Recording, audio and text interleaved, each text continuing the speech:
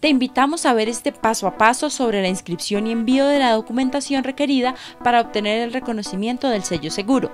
Para eso debes ingresar a www.gobiernobogotá.gov.co y en el menú principal da clic en Certifica tu bar y después en Sello seguro.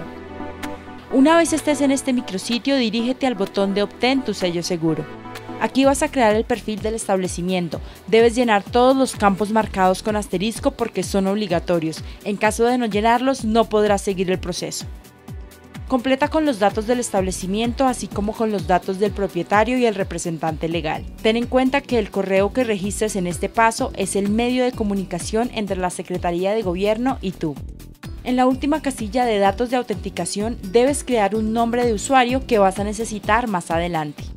Por último, debes descargar y diligenciar el documento de buenas prácticas porque este es uno de los documentos requeridos para subir al sistema. Haz clic en Guardar. Automáticamente llegarás a la página del aplicativo donde cargarás tus documentos y donde deberás asignar una clave al usuario que creaste anteriormente. Para esto debes dar clic en Olvidó su contraseña, seguidamente escribir el nombre del usuario, ubicar la casilla de establecimiento y finalmente dar clic en Buscar usuario y recuperar contraseña. Te llegará un nuevo correo con la contraseña de tu usuario. Puede que este correo llegue a la bandeja de no deseado o spam. Vuelve nuevamente al aplicativo y digita tu usuario y la clave. Se cargará la página para subir los documentos. Para eso crea un nuevo caso, ubica el icono de todos los procesos y aparecerá la casilla de solicitar sello seguro. Una vez des clic ahí, se abrirá la ventana con los datos que ya digitaste. Si falta alguno, lo verás resaltado en color rojo. Dirígete a Requisitos. Allí verás los documentos que se deben subir para solicitar la certificación.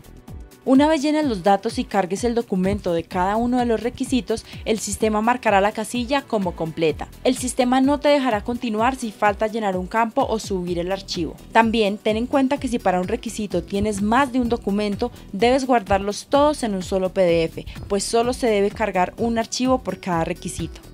Es importante que si no están completos los documentos solamente des clic en guardar, no debes dar clic en siguiente porque se radicará incompleta la solicitud y por lo tanto será rechazada. La última casilla del programa social para las buenas prácticas es el archivo que descargaste en la tapa de inscripción. Si todo está completo, ve a la pestaña de siguiente. Te aparecerán los datos básicos de la radicación con los que podrás hacer seguimiento a tu solicitud en este mismo aplicativo.